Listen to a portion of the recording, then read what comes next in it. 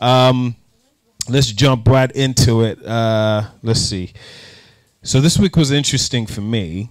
Uh, wait, it was Silas' birthday yesterday. Happy birthday, Silas.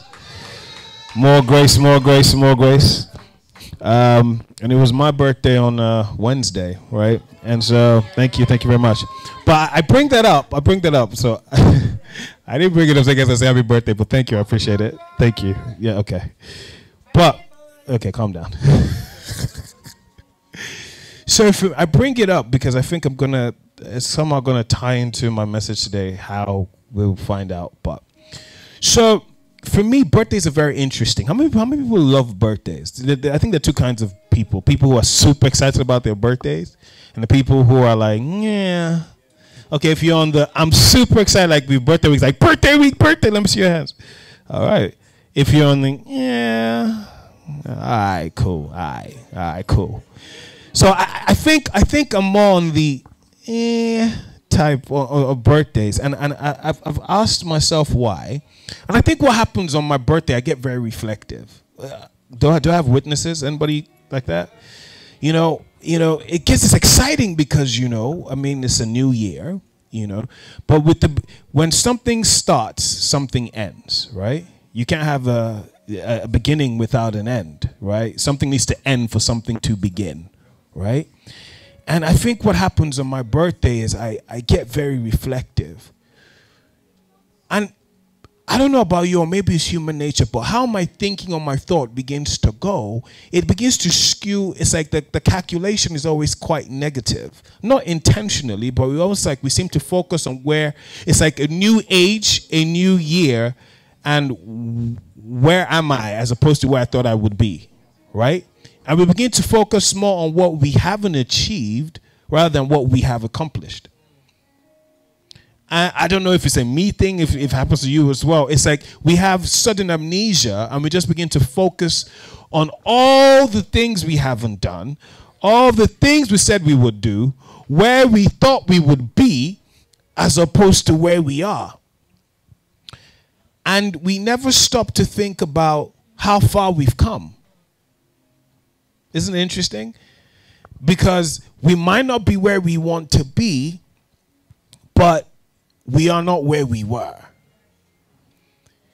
And if we take the time to actually step back and actually see it holistically um, and see it from a, the actual perspective, we begin to see that there's so much that we have to thank God for.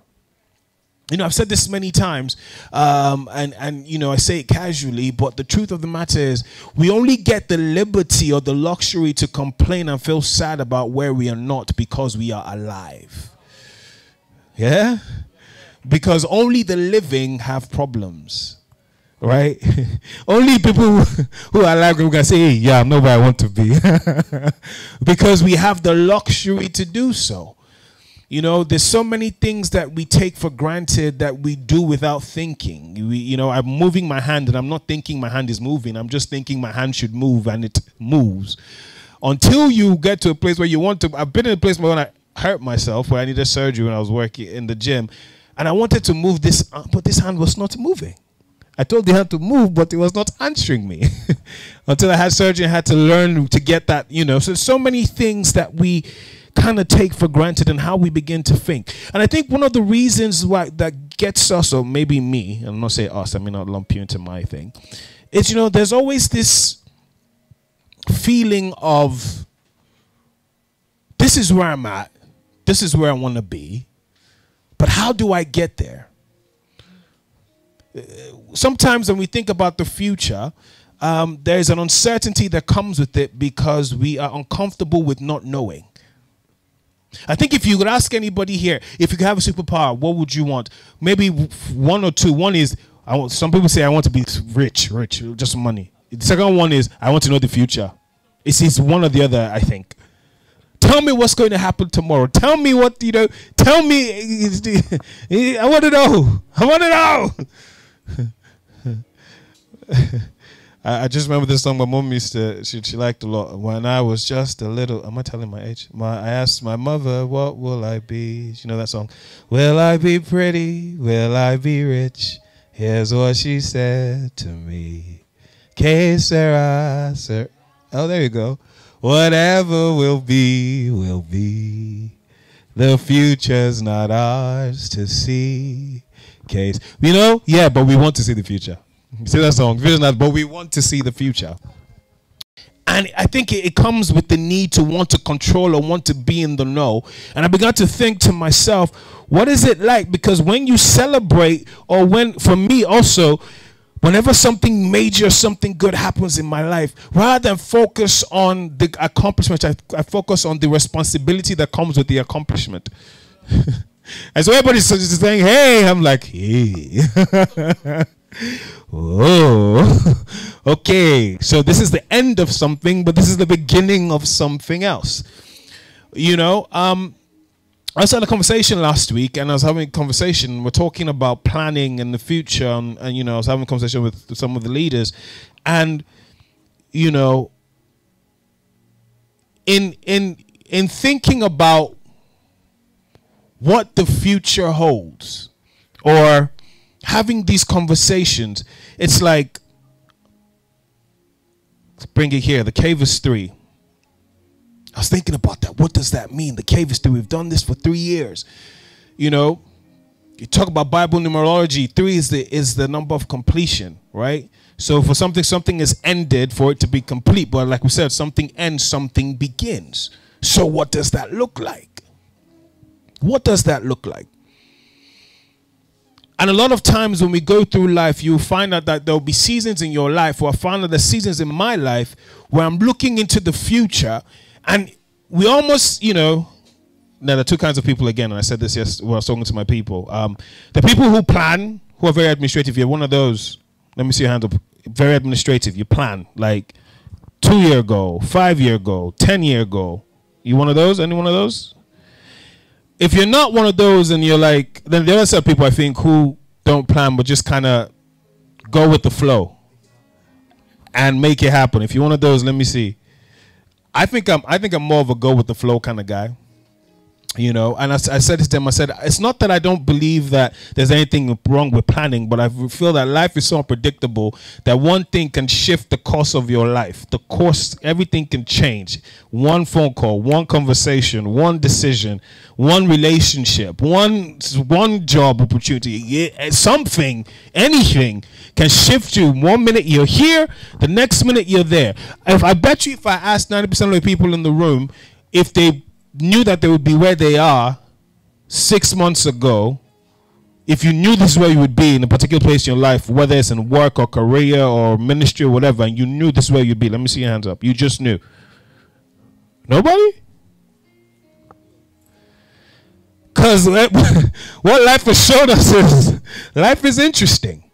I probably think of the Bible. I probably think about okay, what are people who have been in this similar situation, and how do you navigate these times when you look forward and you know, if we're being honest, not knowing the future can be scary, can be uncomfortable, because all the information you have is what you have.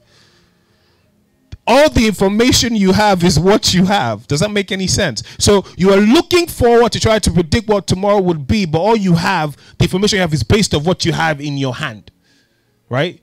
So what am I going to be tomorrow? But I can only ask, I can only surmise based on what I see today. But I also used to say this as well: if all you see is what you see, then you're blind. If all you see is what you see, then you're blind.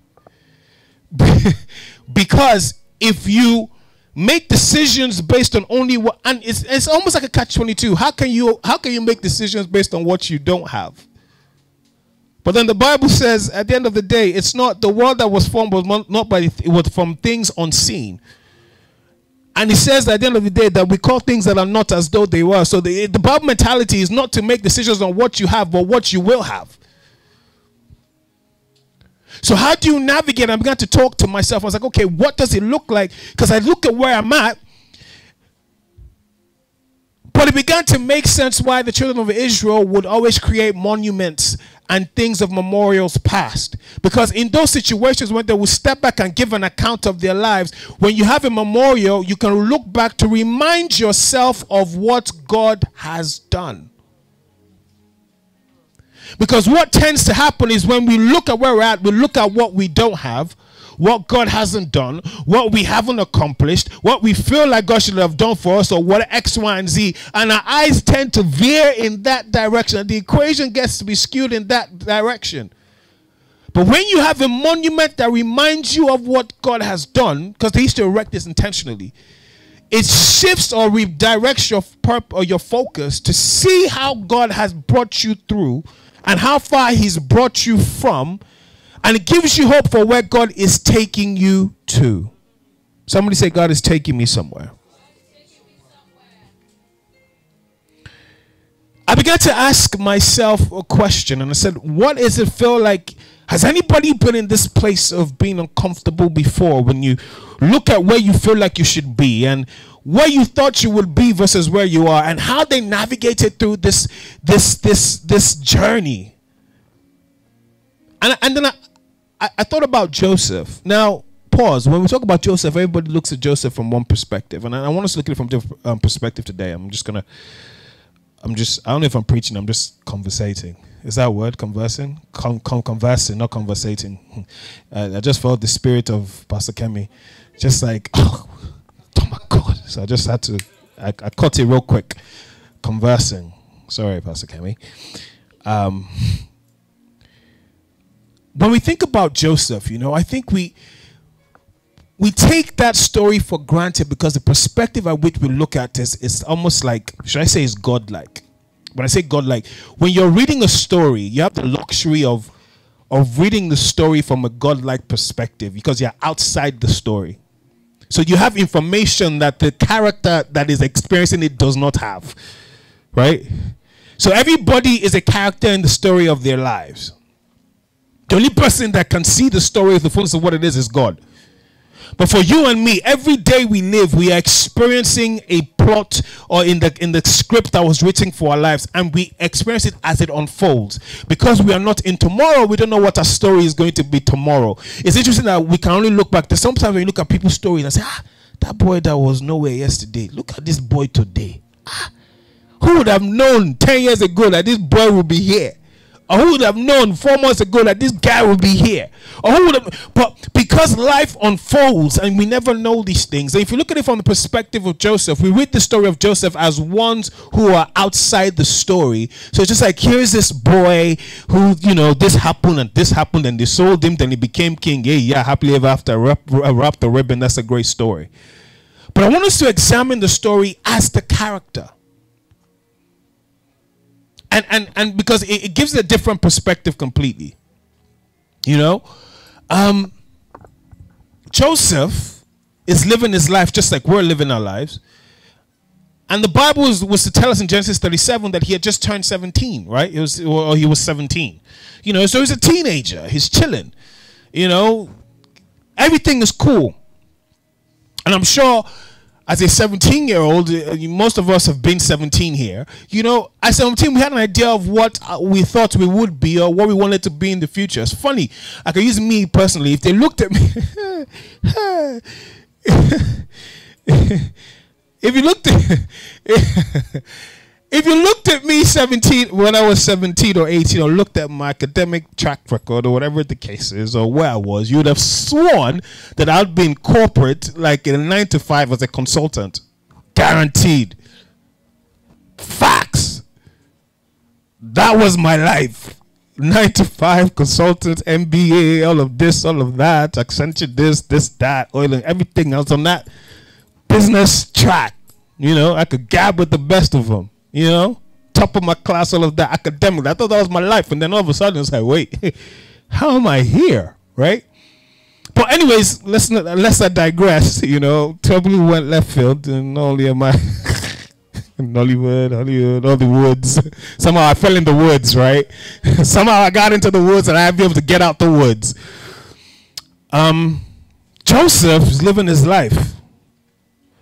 Now we know that Joseph was the favorite son of his father. And it's interesting because I began to see a lot of similarities between Joseph and Jesus. And you realize that Joseph was an archetype of Jesus. In so many ways, right? Let's just run through real quickly. I'm going to come back. Joseph, son, son uh, favorite son of his father. Jesus, son of God, right? Joseph uh, favored um, coat, coat, coat of many colors, sold for 20 pieces of silver. Jesus favored, sold for 30 pieces of silver. They tore off the robes of uh, Joseph and cast him into the into the pit. They tore off the tunic of Jesus and they put him in the ground. Right? Quite interesting. Um, but Joseph, favorite son of his father, living his life, he was favored not because he wanted to be favored, but the guy was just favored. There was nothing that he did. His father just loved him. And that in itself was a problem. And because that in itself was a problem, his brothers envied him. And we know the story, got a coat of many colors, and you know, XYZ. While he's minding his business, he gets a dream that tells him this is what. In fact, it was just a dream. The dream, he didn't necessarily, he, he didn't have Daniel's gift of interpretation. So the dream wasn't, he didn't mean, for him, didn't mean was an indication of his future. It was just a dream. How many people have had dreams? How many times have we dreamt things? Does not mean that that's. A, I mean, we have random dreams. Doesn't mean that that's what's going to happen in the future. There's sometimes I've had dreams that I knew that was going to happen. I've had one or two or three times. I had some certain dreams. Like, ah, this is going to happen. But some people don't have that gift. Some people we dream. So he just had a dream and he was curious. Like, look, let me show you this crazy dream I had. And he tells his family quite innocently. It was his family that brought interpretation to the dream. He wasn't the dream interpreter.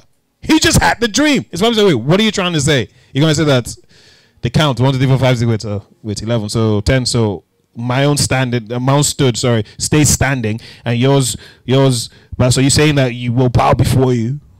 He didn't say that. He just said, "This is my dream." That's all he said. He had another dream. I told them again, and he told his father because his brothers were haters.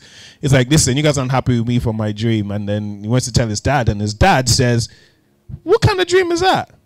And you know we've talked about it. You know, be careful you tell your dream to, all of that stuff, X, Y, and Z. But I'm gonna put it out there as well. You know, when you have certain dreams as well, you know, it's not about it's not everything you talk about. You gotta be careful. You gotta be custodians of your dream. We've, we've said this before. Because you gotta be careful when when you, I'm thinking about back to me have been in that state of being reflective. If my dream is to be a uh, to be a, do, a, a millionaires in dollars and I'm frustrated because I'm a thousandaire in dollars. But I'm complaining to somebody whose dream is just to survive. He, he, he has no that's that's his dream is just to make it and just to have food in his fridge. That's his dream. If I have a conversation with a person like that, the guy will almost curse me. That you you're, you're worried about what you are dreaming for is luxury as far as this person is concerned, not you. This person, person X. But for the person that is frustrated, for me, it's a necessity because that is my dream. But for the person whose dream is not there, it is a frust- it is like luxury and he almost wants to abuse that. What is wrong with you? You it's like you want too much, right? Which is why you gotta be careful who to whom you share your dreams to and with. I heard a quote. It was very good. It says, um, you know, you never hear a tree grow. Trees don't make noise when they grow.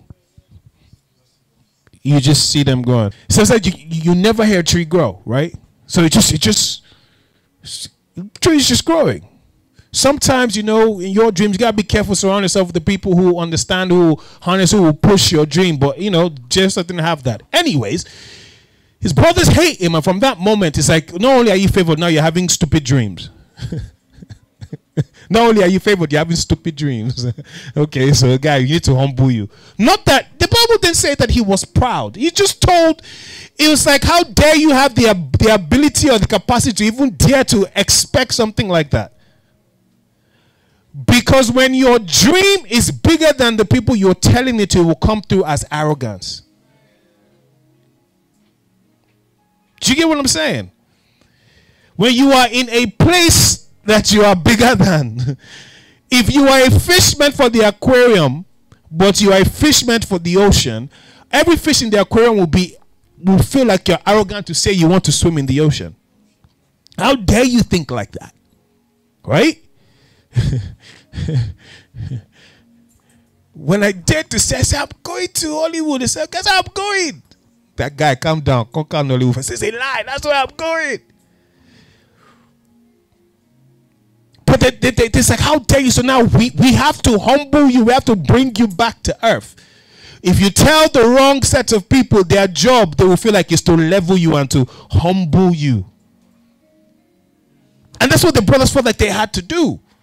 And so we know how the story unfolded. And so Joseph is there. He's been sent by his father to go and meet his brothers in the field. Now, he also shows that he was not an arrogant or prideful person. And he did not believe that his dream meant that he was bigger than his brother. Because if he believed so, he would have told his father, Do you know who you're sending to go and. It's not, not I. I. Do you know who I am? I am the deliverer of this family. You know, there's certain things, reasons why God will hide, will hide certain details in dreams when it comes to us. Because sometimes He knows that if He gives us the full details, we can't handle it. Both good and bad. If God would show us a future, if God would tell some people now, in few months, you will be a multi-millionaire problem. From now, you start misbehaving.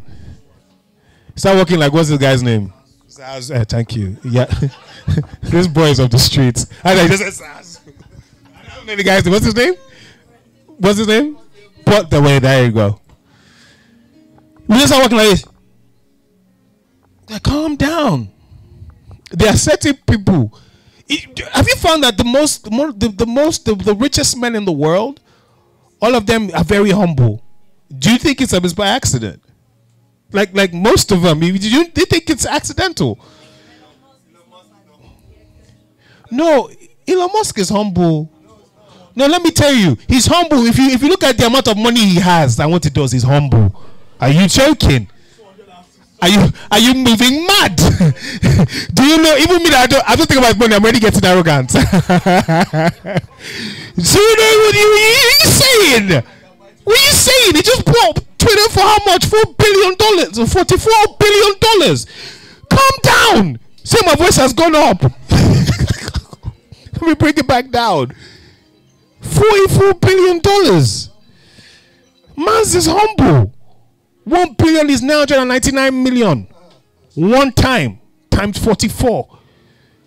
Some people's generations, generations, generations. Some countries, generation. The man said, "How much you want? Take. How, was it forty-four? That's it. Are you mad?" Sorry, my voice has gone up again. Come back. But most of them you will find are humble because they just Bezos just walks around like you know. Zuckerberg was like, yeah, I'm, you know, I, I, you know. Elon Musk says he's homeless. He doesn't have a house. He just sleeps on his friend's couch. He's humble. He's humble. He says he just goes from house to house and squats in houses. You have 44 billion and you're squatting. Some people, if you give them half a million, Nigerian politicians, if a Nigerian politician was Elon Musk,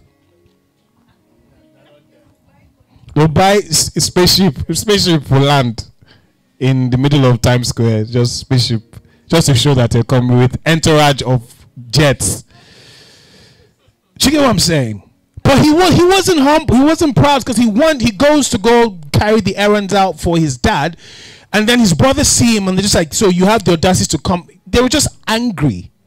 He was just coming to deliver. He didn't say nothing. They were angry. I want you to experience this story not as a, a, a reader, but as the character. You just going to meet your brothers that you love, and the next thing they do is they rip your your clothes, your your your favorite. Because every see see when you are favored, every everything you do is a slap in in your hater's face, even when you are not doing anything. It's like how you just existing. And says the heart of man is evil and desperately wicked because jealousy happened. They were jealous not because of anything he did, but because of who he was. Do you get what I'm trying to say? Understand that some people will not like you because of who you are, period. Not about what you do or don't do, but the fact that you are who you are is uh, it's it's it's it's um, what's the word I'm looking for? It's it's unsettling to certain people. And Joseph gets there and he's cast in the pit. They, his brothers rip off his jacket and throw him in the pit. Now, I want you to imagine this as Joseph. In the morning, you are your father's favorite son. By mid afternoon, you are in the well. How? And I think that is that is that is a good picture of how unpredictable life can be. The morning you can be up, in the afternoon you can be down. How? I was reading a story online about somebody who uh, uh, apparently she, she was, she was uh, I guess an actor in the East and she had talked to a friend the night before and she was cleaning something in church or something and she just slumped and then she was dead. How? Somebody, you know, got on, you know, some influencer, social media influencer guy apparently got killed and it was in the car and then a trailer or something smashed the car, fell on him or something. How? How unpredictable life can be. And, and imagine being Joseph thinking, but but but how am I here? And not knowing what the next two hours would be.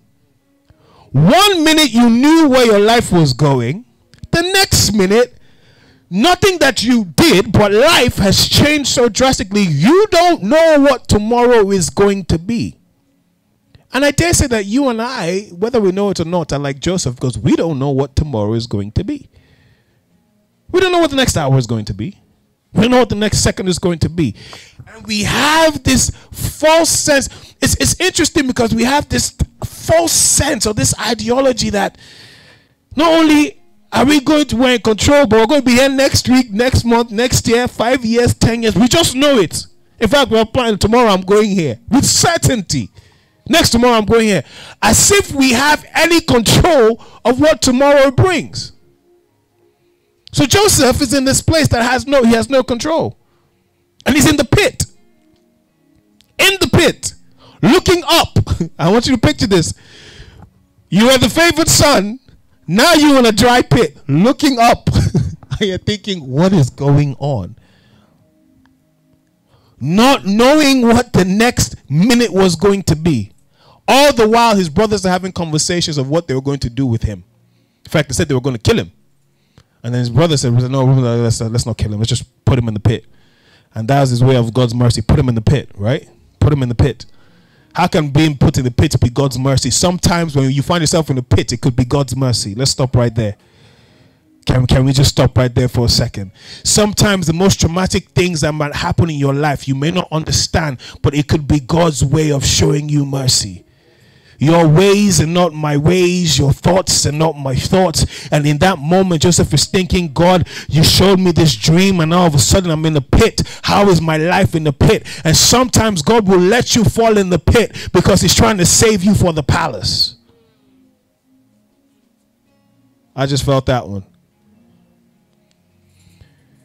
They said, throw him in the pit. And that was God's way of showing mercy. So sometimes we may not feel it, but thank. It says, in all things, give thanks. This is the will of God the Father towards you concerning everything, in every area, in anything in your life, pit or palace, give thanks. Highs or lows, give thanks. Because again, remember, we're looking at this story not as somebody outside the story, but as the character experiencing the story. He's in the pit and he's thinking, what is going on? And we know how the story goes. The next thing you find we find is that he is brought out. We don't know how long he was in the pit, but a couple of hours must have passed. Can you imagine the thoughts that were going through his mind? Why am I here? How am I here? What did I do? How did I? What? Kind what they're really going to kill me? But, and I think God, in His mercy, gave him the dream because He knew the pit was coming. Right? And which is why I think it's important, just like the Israelites did, they knew something about building monuments to the things God has done. Because when you find yourself in the pits of life, you have to remember the promises that God has given you. What do you do if he kept looking around and all he saw was stones and bricks and an empty well, that's all he saw. He had to rem- there's something he had to hold to hold on to to keep him going mentally. Because understand, he knew he had no idea what, what was happening to him. Then we know as the story unfolds that he was taken out of the well and he was sold. Now, bear in mind, we know where he was sold to. He didn't know where he was sold to because his transaction happened outside the well. Are you with me? He's in the pit, not knowing what conversations being had, and then they oh, there's some people traveling to it. You know what? How much? Just tell brother, how much? How, they bargained on him. 30. No, that's too much. Uh, what's the guy 17? What can he do? Is it all? No, you know what? Yeah, we'll give you 20. 20. Last price. Going one goes at 20 sold. Cool. Selling for 20 pieces of silver. Then they bring him out and they give him to these guys, and he's put in a cart, caravan, whatever, and the cart is moving. Where am I going? It's almost like the proverbial, what does my future hold? Have you ever asked the question, what does my future hold? Because your present reality does not show anything for any any any any glimpse of a great future. Now understand that the distance between Canaan and Egypt is 837 kilometers. That's a long time. It's 837 or 873, either or. But over 800. Now, let me give you context. Third Mainland Bridge going one way is like 10, 11 kilometers, right? Okay. that's, that's, that's just running one way. So if we say 10 or 11 or 80, 80 third Mainland bridges just going just imagine 80. Now, don't think about it in a, in a, in a car. Because when you think about 80, most of the time, Third Mainland Bridge, when we think about bridge, we're looking from experience of driving. Are you with me? When there's traffic, is even bad. But have you ever walked Third Mainland Bridge before? I don't think, I don't think, think anybody will walk Third Mainland Bridge by choice. I don't think anybody will just decide to walk. Something must have happened that makes you walk, whether you are extremely broke and have no money, you have no choice, and all your only option is to use your legs. But most in, most of the time, people in Paris, but people enter bus, some kind of four wheel modular transportation to carry you. But then, when you think about it as a slave, chains and shackles I, I, want you to picture this as the character, not as the reader. Those who were probably leading the caravan were on the horse with the cart. But the slaves, most likely than not, were walking behind the cart. Can you imagine walking for 80 kilometers, not knowing 800 kilometers, not knowing where you are going? Not knowing what your future is saying? not knowing what tomorrow is saying. It's a very humbling feeling. And that's what Joseph was experiencing. And I dare say that a lot of times, some of us, that is exactly how we feel. When we stand and it's like we're going through life and we don't know where we're going. We're going, but we don't know where we're going. We're walking, but we don't know where we're walking to. And when you are in that place, it can weigh very heavy on your heart. What do you do in those situations? And I'm about to tell you. I began to ask myself the question like, how do you how do you keep on walking when you can't see anything ahead of you? It's easy to have dreams when you're in a place of success. Oh, can we can we can we can we can we keep it real? It's easy to say, man, my next five years I'm gonna blow when there's money in your account. when everything is working right. So, ah, next two years I'm gonna be ah it's gonna be ah but then it's harder to talk about your next two years when you look at your account and it's like zero.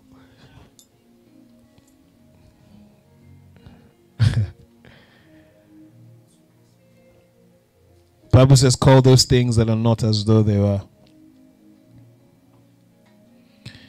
And I found that there were those in those situations that what they did was remind God of what He had said. I almost I, it's it's it's 102 and I and I, when I want to stop because we're over time. Um, can I ask you guys for 10 minutes? Is that okay? Can I take 10 minutes? Is that okay? And try to round this up as quickly as I can. Um, but I found that what, what what they do is they remind God of His word. I was reading this book. I just started reading it, Think and Grow Rich, and it tells the story of this young kid who decided that he was going to be Thomas Edison's partner. Thomas Edison said he was going to he was going to work with Thomas Edison, and when he made the decision um, the the, the, the, um, the decision to do that, he had no money, he had no, but he just said I'm going to be. So he jumped on a, a train to the to New York. Now when he said jump on a train, he didn't have money, so he just he he jumped on those um those cargo those ones that are carrying coal and stuff. He just entered. And he went to Thomas Edison's office and he stood before them and said, I'm going to be your business partner. I'm going to work for you. I'm going to work with you as your partner in business. Ragged, dirty, coal covered his face, looking like a riffraff. Thomas Edison is thinking to himself, like, guy, in what world? But said there was something about his belief and his desire that he didn't know. He said, okay, you know what? You've come this long, you know what? Go and be an intern. Just come on, you just want to work. How about work for me first before you can work with me, right? And made him an intern. But I find that when you are in those situations, you need to have something to hold on to. And I believe that Joseph, as he was walking, as he was walking, all he had, he didn't have his family anymore. He didn't have his favorite status anymore. He didn't have his coat that told them who he was. He didn't have the validation of his family or as a prince. All he had then was his hands, his feet shackled, and his God. That's all he had. And all he had, and probably the only positive thing in his life at that moment, were the dreams. That's all he had were the dreams. A pigment of his imagination. A a, a, a, a dream that was so far fetched from his present reality, but that's all he had in that moment. But guess what? That was enough to sustain him 837 kilometers.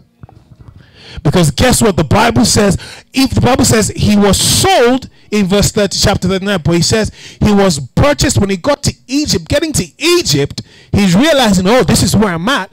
And then the Bible says, but he was sold into Potiphar's house, but God was with him.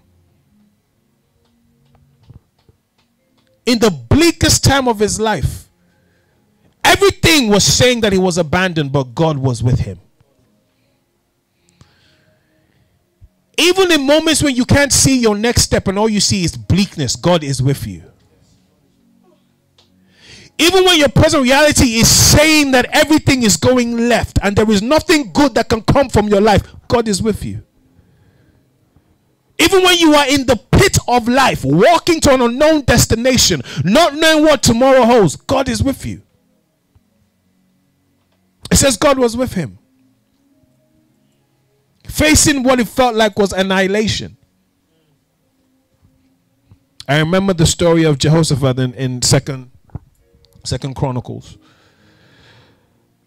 I have what? I have about five minutes. I want to show you something. Second Chronicles 20. Jehoshaphat is the king, and an army has come against him. I'm going to paraphrase. What do you do in those situations? You remind God of His word. Because guess what? I realized that He will never leave you in those situations without a word. Now, understand what was interesting was God didn't speak to Joseph in the pit. God didn't speak to him when he was shackled walking to Egypt. God didn't speak to him when he was being sold to Potiphar's house. God spoke to him at the beginning of the story in a dream. Because God knew when he would need it the most. It would have been so much nicer if he was in the pit and then in that darkness a light appeared and said, My son, I am with you. And this day you shall go to Egypt.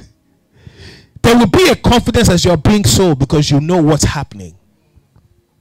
Joseph, after after Moses died, the angel appeared to Joseph, I'm sorry, Joshua, and said, You know what? Now my servant is dead, but guess what? I will be with you all the days of your life. Go.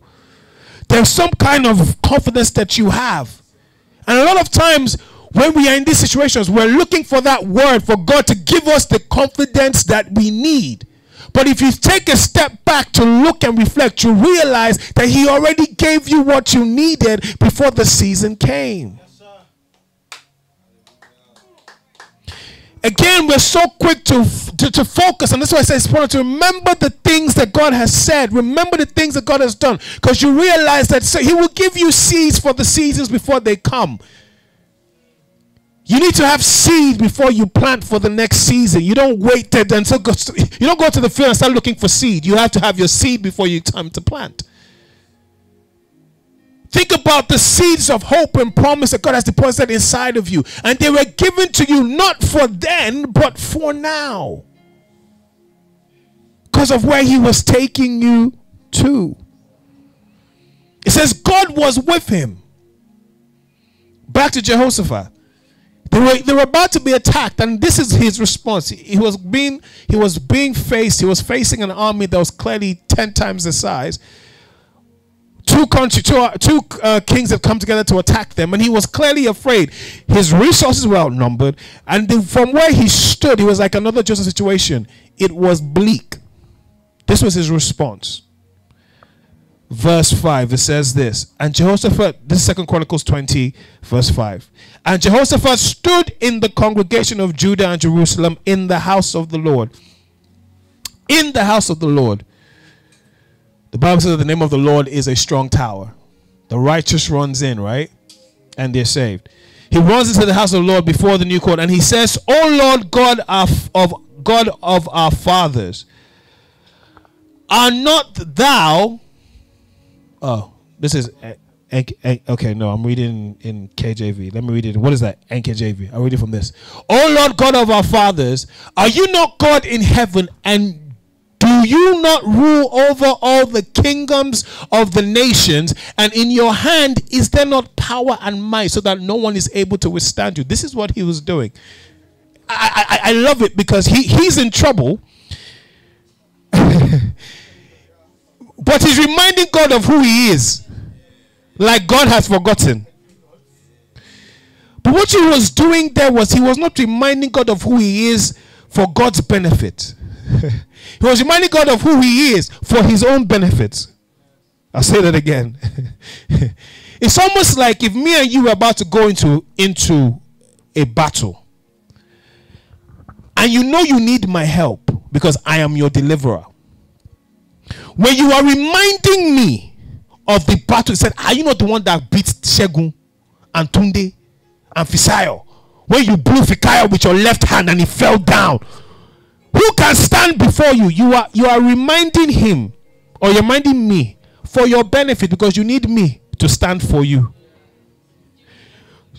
But the more you big me up, the more you are protected. Are you hearing what I'm saying? He was bigging God up. It's almost like when you go to those parties, you know, go to a Nigerian party and they start to, they see you and they start to sing your praises.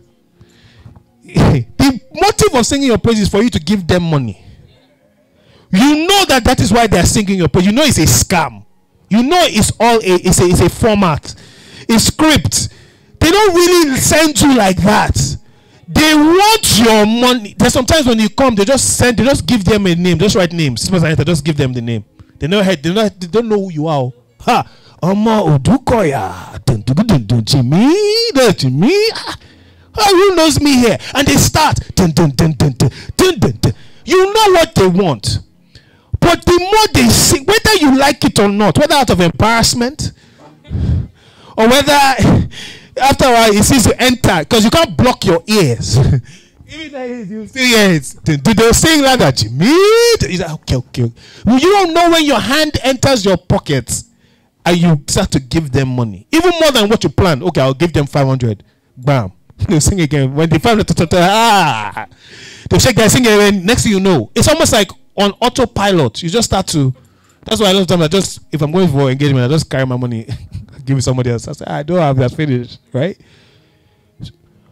But he was begging God up. He said, Are you not God, our Father, who is in heaven? And do you not rule over all the kingdoms and the nations? In your hand is there not power and might that no one is able to withstand you? In other words, see, I know what the situation is, but I know who you are. What do you do when you look at your future and you are unsettled by what the future says? You may not know what the future is, but you know who He is. You see, you might not be able to control the future, but I know one who holds my future. He says, I know the plans and the thoughts that I have concerning you it's plans to prosper you, plans of hope, to bring you to a place of expected end. It might not look like anything is going the way it needs to go, but that's okay. What does my future hold? I have no idea, but guess what? I know one who holds my future. And as long as he holds my future, then my life is just because as long as he's alive, my future is secure. He says, Are you not the one who is able to withstand you? As long as you as long as you don't sleep or slumber. As long as you are the one who writes the beginning author and the finisher of my faith. As long as it is you, I'm okay. I don't know what tomorrow may bring. I don't need to know what tomorrow may bring. As long as I know that you're there, I'm okay. Next verse. He says this Are you not our God? who drove out the inhabitants of this land before your people Israel and gave it to the descendants of Abraham, your friend forever. Now, this is what he's doing. He's reminding God of what he's done in the past. Remember when we said it's important to have monuments? Remember what God has done? God, it was you that paid my school fees when I had no money. So, God, if you did it before, you can do it again. God, it was you when I needed 50k for a hospital bill and I didn't know where it was going to come. Suddenly I got a phone call. And I was asking myself, how?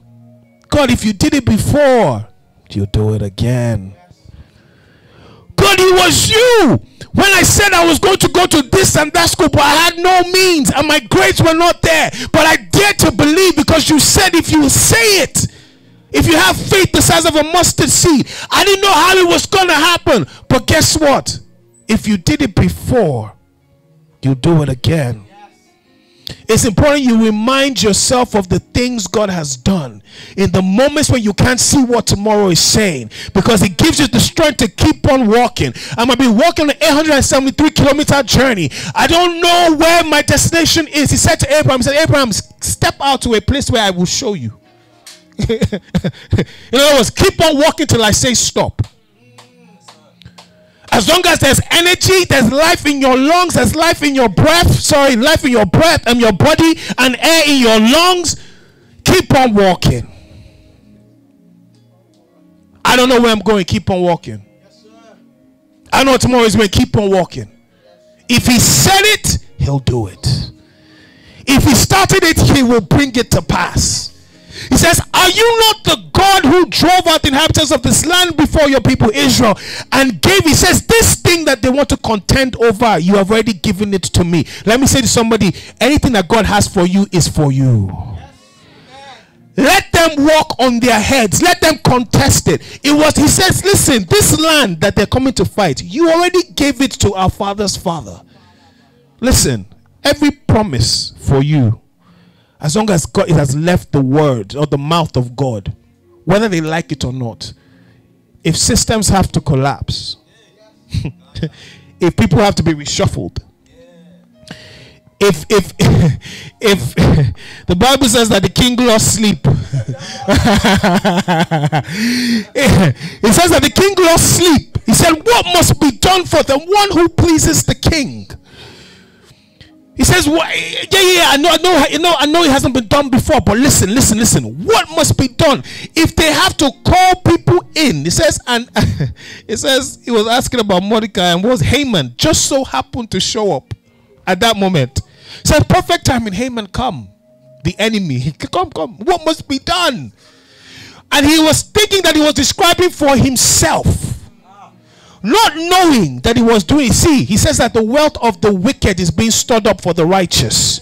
Hear me. They think that they are building for themselves. Now I've shifted prophetically here. If this is somebody here today, they think they are building for themselves, but they have no idea that they are building for you. It's clear. And, and he will do it in such a way that he will confuse them so they will not see or know what they are doing. Haman walked into the trap thinking that, yes, finally I've gotten favor for the king, but he was handcrafting the reward for Mordecai. Whatever needs to be done, your name is on it. He says to them, He says, You gave it to Abraham, your friend forever. Continue. Look at what he says to God. And they dwell in and they have built you a sanctuary in it your name saying what? What did they say? He says, if disaster should ever come upon us, sword or judgment or pestilence or famine, we will stand before this temple and in your what? In your presence. For your name is in this temple. In other words, anywhere the name of God is, there is a temple for you to run into. The name of the Lord is a strong tower. That it is not about you being in church physically. You can be in your office and you usher the name of the Lord. You are in a strong tower. He says, We will stand before your name, for your name is in this temple, and cry out to you in our affliction, and you will hear and save. He says, See, what do you do when you are in that situation? You remind God of His word. He says, God, remember you said this. You said, if disaster or affliction should come upon me, I will stand here.